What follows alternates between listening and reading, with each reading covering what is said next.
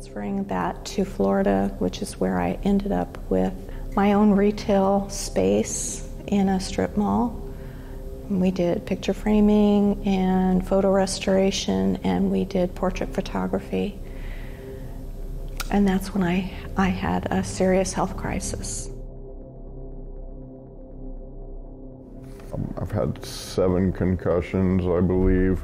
As a result of that, I was diagnosed as major depressive disorder, recurrent, severe.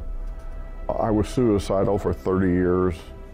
So while other people were building careers and having families, I was concentrating most of my energy on staying alive.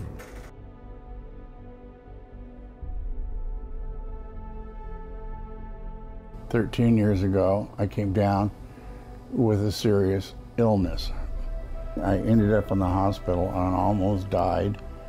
And I was in the hospital for two weeks. I was in a forced coma for a week.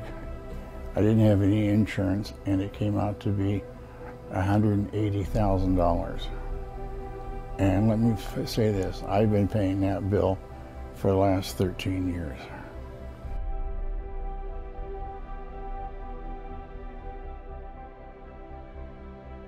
Actually, I do live in my um, van, which is a, a, Mazda, so it's it's not a full-size van, and I'm a full-size man, so it's a bit cramped in there, um, and it's a, it's pretty uh, difficult.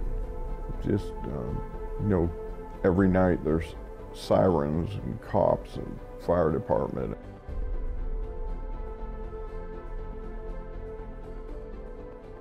It's hard to make long-term plans because you don't know what the future holds. I don't know if tomorrow I'll, I'll get a notice from my company saying that my services are no longer required. I don't know what I'd do. You know, I'd have to get rid of all my belongings and have to move out. In looking for a place to live, it's been very challenging. First and last month's rent, um, so financially, it's difficult.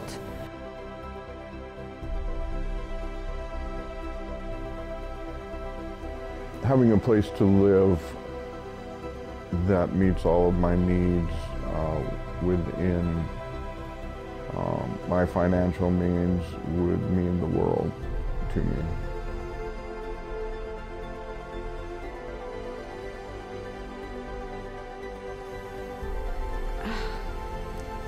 I can't even, I can't, it's hard for me to express how much it would mean to me personally to have a place of my own